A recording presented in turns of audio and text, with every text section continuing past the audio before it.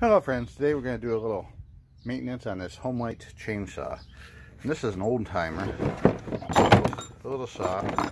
that's probably either an XL series or a Super 2, I'm not really sure. We're going to go through the carburetor on, pretty basic stuff. We're going to show you how to take it apart, disassemble it and get to everything.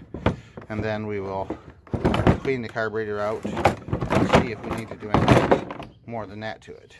So I got a to do, where's that here, 3 8 7 16th inch wrench to remove the one nut that holds the bar and chain in place.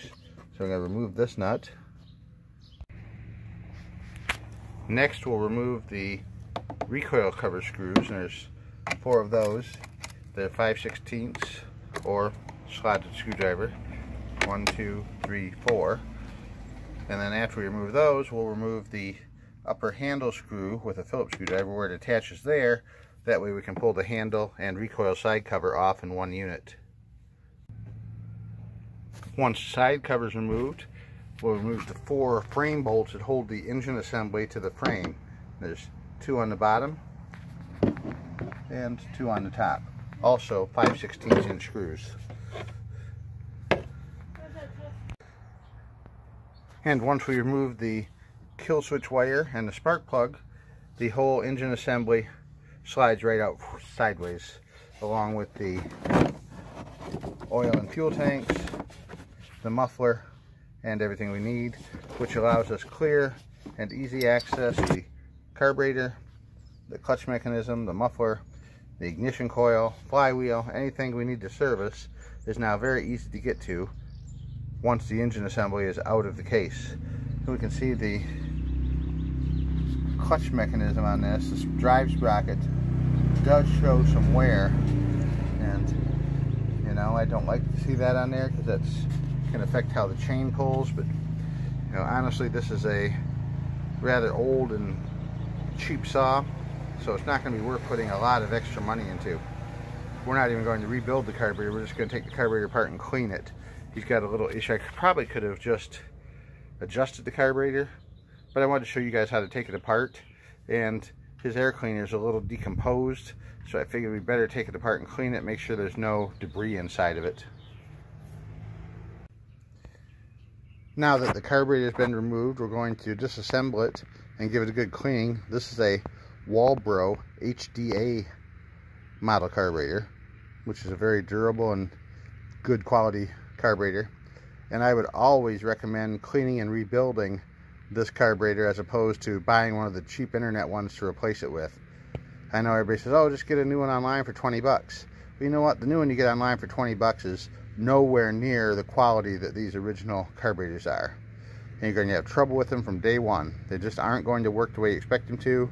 All the little hookups and connections and adjustment screws aren't going to be the same. It may require modification. It's just not worth messing with those cheap new carburetors that they're selling online rebuild the old one.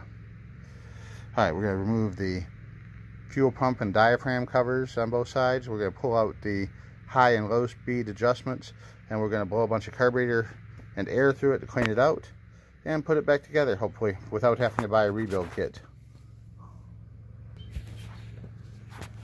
Now before removing those set screws on the carburetor, I always run them in all the way and count the number of turns so I know where to reset them for our startup the high was in one full turn and the low was, I should say the high was turned out one full turn and the low was turned out one and a half turns, which kind of lead me to believe that was the problem in the first place. The customer reported that it runs real good, except when it gets to a high speed under a load, it seems to die out, which tells me that it wasn't getting enough gas in the high speed circuit, so I should just open the high speed a little bit.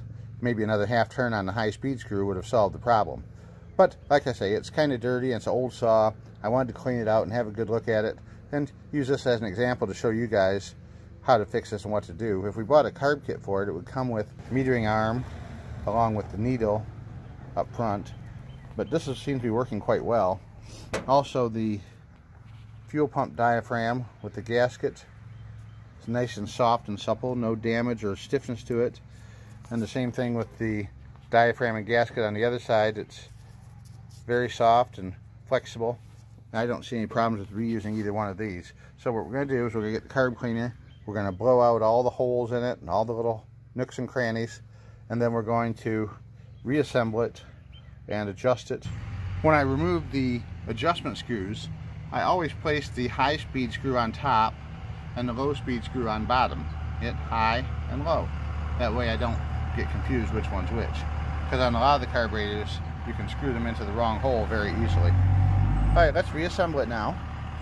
And when we put this particular one, almost all these, this one here, the uh, spacer goes closest to the body on the carb and the pump goes above it. But on the other side, with the check mechanism here, and the diaphragms, the diaphragm goes onto the carburetor and then the spacer above it. So just take it back, uh, put it back together the same way you took it apart and you'll be fine.